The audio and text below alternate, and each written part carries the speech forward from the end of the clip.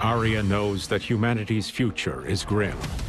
There are battles on the horizon that have never before been fought, and foes against whom humanity has not been tested. Fighting these battles is the purpose for which Ultratech was created, and Project Stalker is Aria's pursuit of creating the perfect hunter. Constructed using Ultratech gene splicing, the Stalkers have the instincts and brutality of a raptor, the obedience of a human soldier, and synthetic Ultratech genes.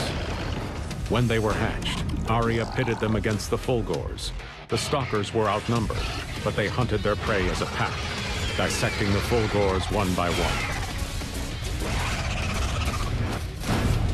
Aria named the leader of the pack, the most ruthless stalker, Riptor.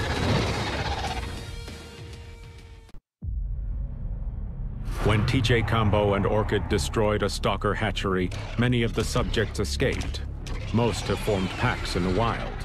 But a lone stalker has resurfaced. She is from the very first batch. A mindless, brutally violent bunch that would just as soon eat each other than an enemy. Because of their unpredictable nature, Aria would not trust them in combat.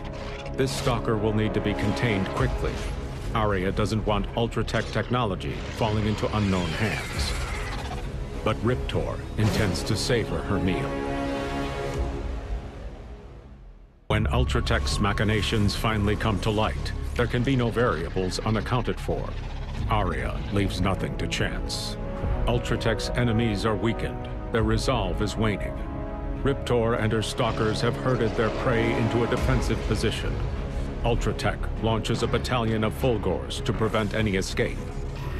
Aria wishes to make an example of these miscreants, to show them if they cannot be a part of Ultratech's future, they will be left in the past. But Riptor just wants to eat.